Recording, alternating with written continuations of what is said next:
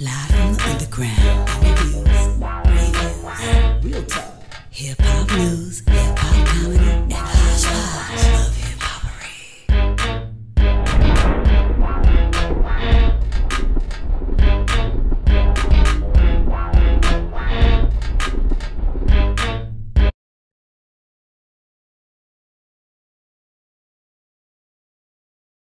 Thank you for watching Word from Wize, Bus Stories, Flowers in the Street. This is episode 8. I call this one Legs. okay. So I'm driving the bus and it's about midway packed and uh, I'm approaching a bus stop and the bus stop is really packed and it's raining and it has a bus shelter and the people are squished together in there like sardines. And I was like, I'm about to be squished into the bus like a can of sardines?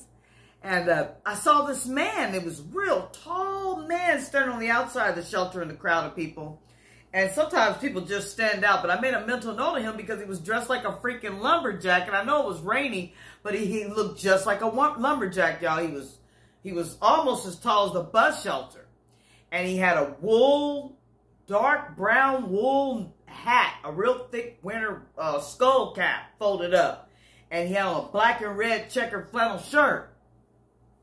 And I see people wear those black and red flannel shirts and, and, those blue and red, I mean blue and black flannel checkered shirts a lot, but they was wearing those black and red ones at the time a whole lot. And some of the gangbangers were too, but he wasn't no gangbanger because he had a full beard, tall white brother, looked like a lumberjack for real, y'all. Swear no joke. He looked just like a lumberjack. So anyway, I'm servicing the stop. People are coming back then.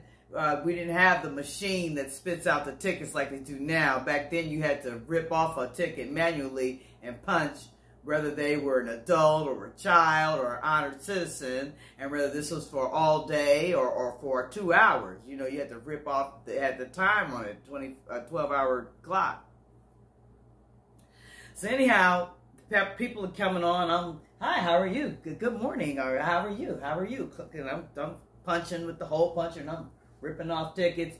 And I saw him and I said, good morning, sir. How are you? And he came with this deep voice. I was like, oh no. He's like, I'm fine. How are you?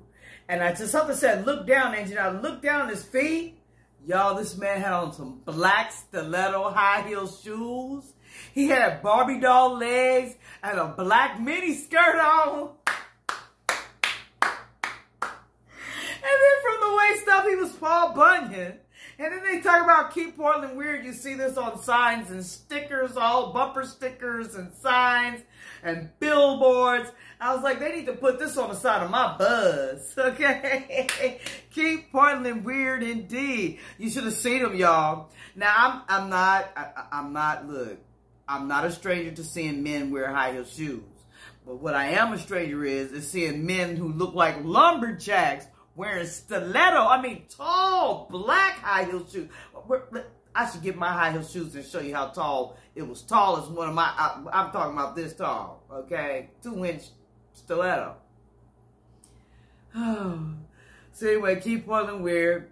That was my first sighting of the lumberjack. And then somebody told me later that there's a group of guys who do that on purpose, who look that where that look just like Paul Bunyan without minus the, the, the jeans and, and work boots. And they always have on stilettos and smooth Barbie doll sexy legs like that. And then they have the scruffy beard and the and the wool hat, wool knit, I mean the wool uh winter hat. so anyway, thank you for sharing my story. That one was really short. And that was called Legs. Thank you. Remember that song, ZZ Top? She's got legs. No, he got. He got legs. Okay, all right. Stop. Thank you for watching Bus Stories, Flowers in the Street, Episode 8, Legs. See you on the next one. Bye.